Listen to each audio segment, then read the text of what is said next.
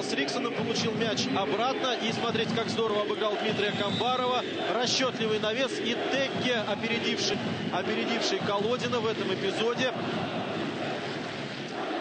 Смотрите, каким кивком через